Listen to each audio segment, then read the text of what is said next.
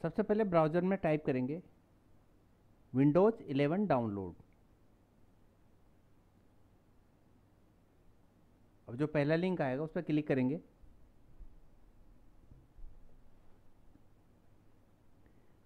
अब जाएँगे download Windows 11 disk image ISO file के अंदर।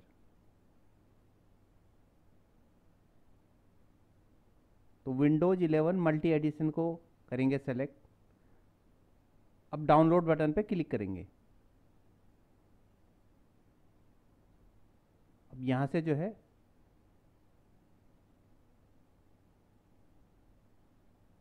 सेलेक्ट करेंगे इंग्लिश इंटरनेशनल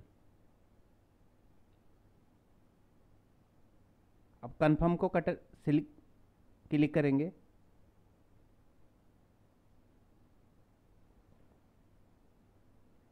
अब यहाँ पे लिंक खुल गया है 60 बिट डाउनलोड इस पर क्लिक करेंगे।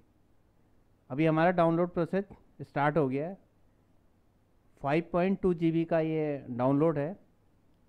तो इसमें टाइम लगेगा। तो हम जो है स्किप कर देंगे अब, जब तक डाउनलोड होता है।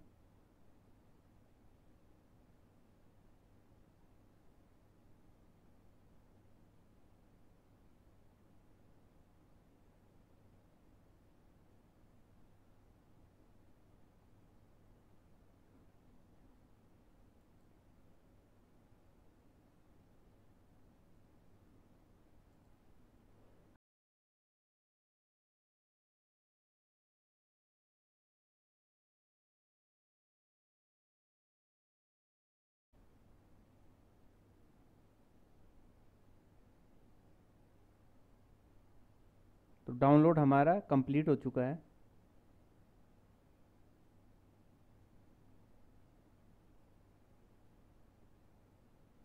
अब ये डाउनलोड कंप्लीट हो चुका है हमारा।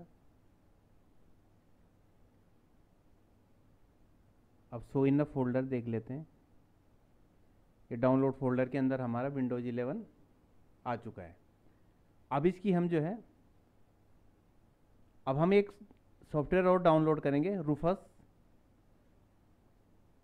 जो हमारे पेन ड्राइव को विंडोज़ 11 का बूटेबल बनाएगा। इसका डाउनलोड कर लेते हैं रूफस को।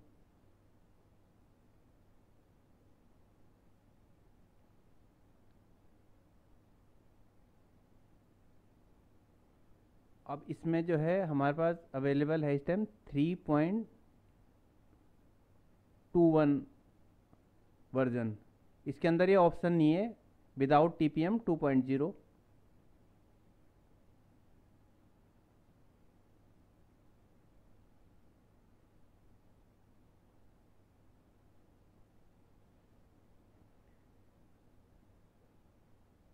तो ये रूफस जो है three point two point one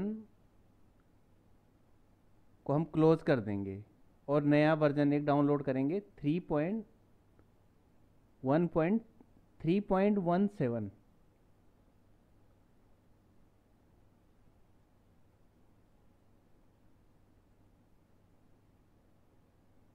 अब यहाँ से ऑप्शन सेलेक्ट करेंगे। Without, no TPM, no secure boot.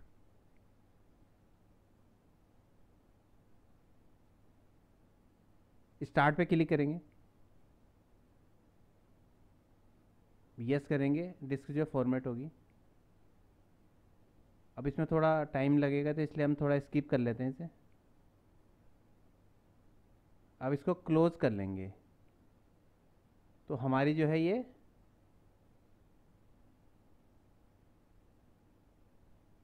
Bootable disk बन चुकी है।